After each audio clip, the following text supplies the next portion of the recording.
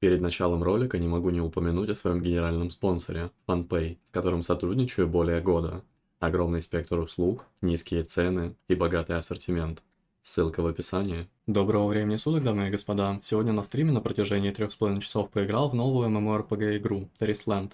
Интересная, красивая, сочная игра с кайфовой графикой. Порассуждаем о каждой кнопочке, что куда нажимать, зачем, для чего, что к чему вообще, куда тыкать, куда не тыкать, как прокачиваться, как не прокачиваться, поговорим немножко о профессиях и обо всем, обо всем в целом кратко поговорим. Так сказать, первые шаги уже были все абсолютно реализованы, и на фоне этих первых шагов я просто-напросто поясню вам, что, куда и зачем.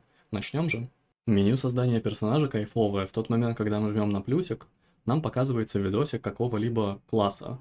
На текущий момент это жрец красиво и реально сочно. Далее мы, конечно, можем выбрать любой другой класс, который нам интересен. 9 разных классов, начиная от воина, заканчивая ловцом душ. Море всего интересного. А некоторые классы могут быть разного пола. К примеру, паладин может быть и мужчиной и женщиной, и маг тоже. Меню настройки персонажа. Настройка внешности можем снизить максимально рост и при этом голову сделать просто огромную. Смотрится, конечно, так себе, но если вам такое нравится, окей, не осуждаю. Можно создать себе любого персонажа. А, веснушки, узоры, цвета, вообще все-все-все абсолютно имеется. Макияж, то есть все полностью настраивается. Как у мага, так и у любого другого класса. У паладина, например. Опять же, видосики, да, показываются презентуется нам абсолютно все. Заходим в игру и далее смотрим абсолютно все кнопочки. Дейлики, виклики, поручения, различные полосочки, донатные маунты, донатные трансмоги. Все имеется в верхнем окне. Начнем же. Рассмотрим справа налево. Первая иконка это ROG. Мы подписываемся на разные соцсети, Facebook, X, Discord, YouTube и получаем награды. Само собой делаем это, почему бы и нет. Халява. Далее, семидневная цель. Если хотим сделать маунта, то мы должны сделать 30 поручений за 7 дней. Каждый день мы получаем по 5 поручений. В целом это легко. Можно даже что-то в целом пропускать. Не хотите багашить сегодня? Окей, завтра хотя бы сделайте все. Ну или постарайтесь. Просмотр функций, тут просто видосики. Далее, красный герб. Полоски активности. Все делаем, вылутываем абсолютно все награды, получаем жетоны судьбы, которые потом можем выменить. И идем дальше. Обзор игрового сценария. Тут опять же делаем абсолютно все, играемся с другом или гильдией, играемся на БГшках, заходим просто хотя бы в игру и за это получаем серебряные монеты, которые нам нужны для того, чтобы прокачивать наши способности. Далее, ранг сезона. Чем выше наш ранг, тем больше наград мы получаем. То есть растем, растем, растем, растем. Вылутываем порошок, который нужен нам для улучшения, для усиления персонажа. Вылутываем медальки. Они нужны нам для покупки различных предметов. Но, возможно, предметы из подземелий в целом и так будут сильные, поэтому медальки нам не особо придется тратить. Но, в общем-то, поиграем и все увидим. У завоевателя тут награды в виде поушенов. Тут никакого порошка не имеется, к сожалению. Искатель, что мы тут получаем? Получаем эссенцию, получаем сундучки с эмблемами завоевания. А, полезно, наверное, но пока что я еще не понял, для чего это. Как бы первый день в игре, тут еще столько-столько всего нужно понять. Третья кнопочка — это аукцион, торговля. Мы можем найти какой-то предмет для покупки, а можем просто взять и в какой-либо вкладочке что-либо поискать. То есть тот момент, когда мы раскрываем снаряжение, мы можем увидеть то, что продается броня, конкретно нагрудник 68 уровня предмета, 68 итем левела. Статы видны, все абсолютно видно.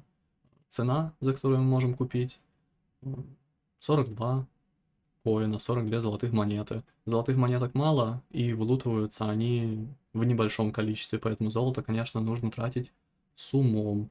Можно купить различные реагенты, к примеру, слитки, руда, можно купить цитрин, кристаллик, то есть все-все-все можно купить на аукционе, можно самому добыть, почему бы и нет. Также можно что-нибудь выставить на продажу, какую-нибудь вещицу, которую мы крафтили, а, какой-нибудь реагентик, который мы делали или собрали. Можно сделать заказик Опять же, нужно разобраться с этой механикой. Выставление есть. Кристаллы донатные продают за золото. Или что это за кристаллы? Не понял, сложно. А это наши лоты, которые мы покупали. Их можно купить повторно, если у нас есть на это желание, и если у нас на это хватает золота. Удобный аукционный дом по факту. Можно купить реально лоты, которые мы покупали недавно. Крутая функция. Четвертая кнопка — это рынок. Донатный рынок. Если хотите стать феечкой, пожалуйста, я ни в коем случае не против. Действуйте. Жмем кнопку «Перейти», и таким образом мы можем помолиться. Есть ключики синие, есть ключики золотые. Мы молимся, молимся и вылутываем сетики с определенным шансом. Шанс тут небольшой. Поэтому, если у вас много деньжищ, вы хотите себе сетик, дерзайте. Пятая кнопка это лавка. Тут можно потратить абсолютно всю валюту. Можно потратить серебро, можно потратить донатные кристаллы, можно потратить жетоны судьбы, которые мы вылутываем с выполнения каких-либо поручений. Можно купить различные вещицы, но опять же вопрос, будут они нас улучшать или нет. Можно, имея различную репутацию, купить различные интересные вещицы по типу мастера ходьбы по каньону. Мы покупаем, и показатель скорости передвижения увеличивается на 200. Это приятный бонус. В тот момент, когда мы бегаем на маунте, мы хотим бегать на нем еще быстрее, и таким образом мы экономим время. Порошок при определенном уровне репутации можно купить. Порошок усиливает нас. Чем больше мы имеем энергии камня начертания, тем больше узлов мы можем прокачать. Общественная лавка. Есть гильдия, есть дружба.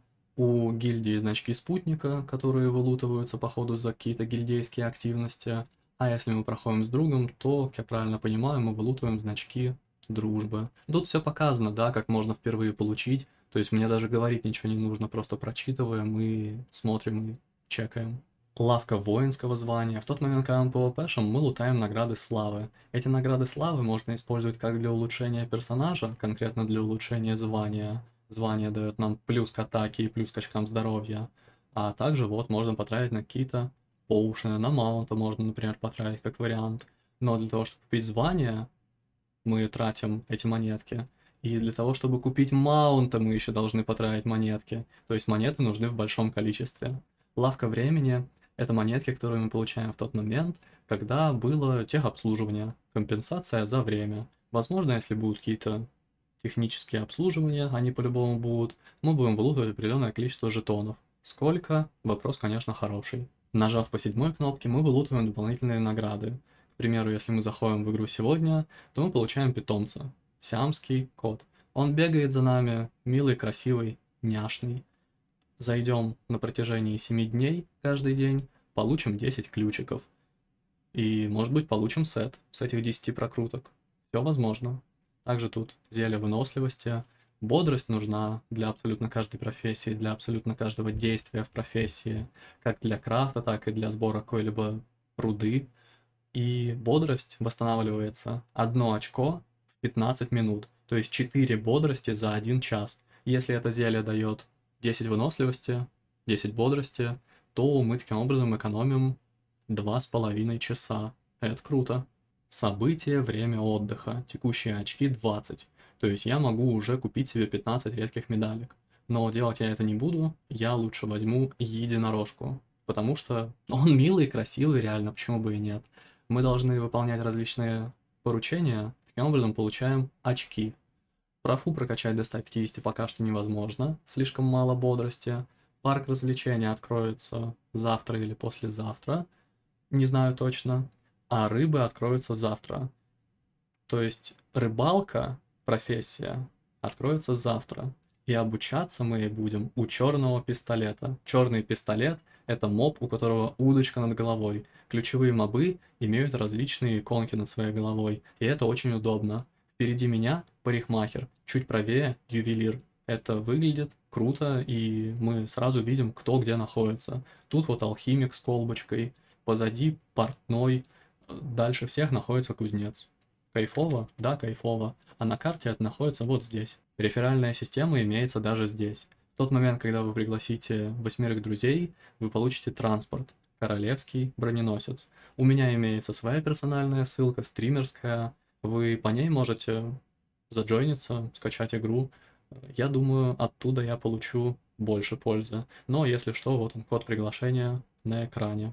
И есть еще вкладка чемпионов подземелья. Это, наверное, на сайт нас перекинет, да, куда-то. Ну, это пока еще рано смотреть. По нижним кнопкам быстренько пройдемся. Рюкзак, мы прекрасно знаем то, что в него помещаются различные предметы, и мы можем поставить дополнительные сумки в эти плюсики, но доступны они будут только с завтрашнего дня и будут делать их портные. Если у нас имеются лишние вещицы, мы можем их продать. Жмем на кнопку «Продать», раскликиваем по ненужным вещам и продаем. Таким образом получаем серебряные монеты. Быстро и удобно. А чтобы заполнить эту пустоту, жмем кнопку «Сортировать». Если нам нужно что-то выложить, допустим, ценный свиток на 1000 репутации, то два раза жмем на хранилище и нас поведет к хранилищу. Мы туда бежим по этой метке, говорим с мобом и выкладываем предметики. Починка тоже важна, это факт, но чинить вещи, которые мы и так меняем, я особо смысла не вижу. Вторая кнопка «Создать». Тут первая полоса – это навык владения профессией, второе – это бодрость, третье – наше серебро. В тот момент, когда мы что-либо крафтим, тратится бодрость и серебро. В тот момент, когда мы собираем предметы, то тратится бодрость. Также отсюда можно открыть почту с целью того, чтобы забрать различные предметы, которые мы купили на аукционном доме. И этот аукционный дом можно открыть прямо здесь. То есть торговлю нажали, купили все, что нужно, почту нажали, забрали все, что купили. Круто, круто. Специализации имеются, по чуть-чуть прокачиваем. Персонаж, внешний вид – если хотим, можем какой-то сетик себе получить. К примеру, за достижение дается сет Ярость Огня. Круто выглядит, да реально круто. А за какое достижение он дается? Идеальное прохождение корня скверны. Нужно сделать 5 каких-то достижений. И за эту мета-ачивку мы получим сетик. Красивый, четкий, бесплатный и, что самое главное, подчеркивающий всю красоту паладина. Также можно и оружие какое-либо получить либо за донат, либо за какое-то ачиво. Выглядит мощно. Питомцы, аксессуары, могильные плиты, транспорты летающие. Очень много всего в игре имеется. Что-то покупается за донат, за доллары, за евро, да. Что-то дается за ачивы. Репутация качается за какие-то квестики, за события различные, при использовании различных предметов по типу свитка, по типу зеленой сферы, которую я уже вылутал. И как я чекал видосики, люди рассказывали, нужно вливать все в одну фракцию с целью того, чтобы получить там восьмой уровень и получить максимальный профит. Так это или нет? Дайте знать в комментариях, быть может я ошибаюсь и меня просто ввели в заблуждение. Четвертая вкладка «Развитие». Навык, мы прокачиваем свои навыки, все абсолютно улучшаем. Какого уровня наш персонаж, такого уровня у нас должны быть и наши способности. Чем выше уровень способности, тем больше урона мы наносим. Качается это все за серебро.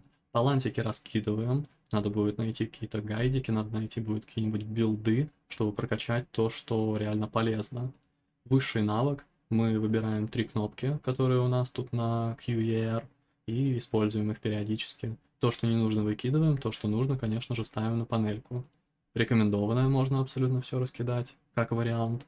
И помощь, то есть нам можно сделать макрос, мы будем закликивать одну кнопку, и там способности будут юзаться поочередно, это прикольно, наверное, для мобилок, но для ПК, я думаю, вы можете осилить нажатие 4-5 кнопок, почему бы и нет. Камень начертания. Камень начертания важная штука. Опять же, чекал видосики, говорят, что нужно качать все по одному поинту, чтобы быстрее подобраться к различным узлам.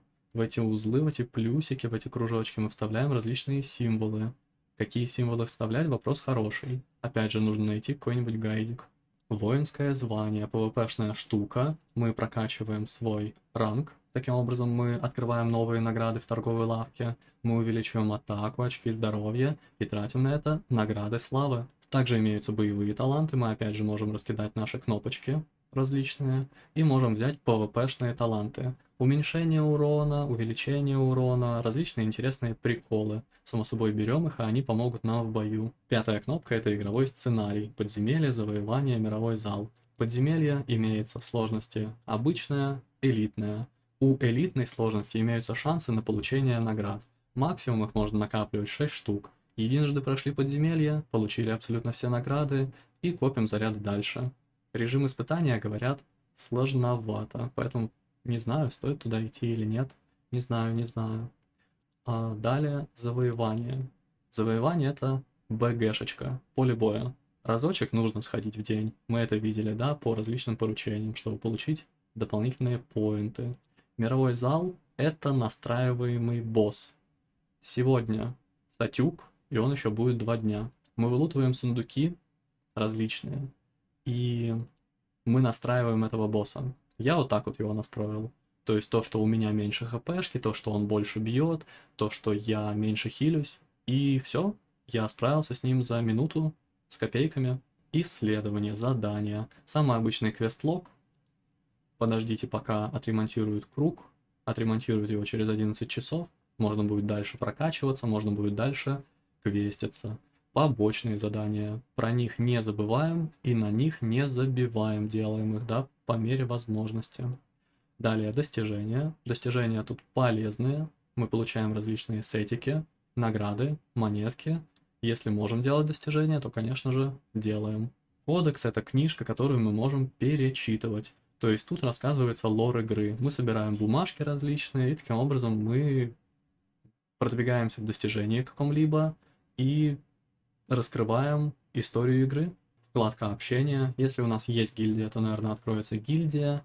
Если нет гильдии, то что-то мы можем увидеть, вступив в какую-то гильдию. Разные названия есть интересные. Вступайте, куда вам хочется. Команда.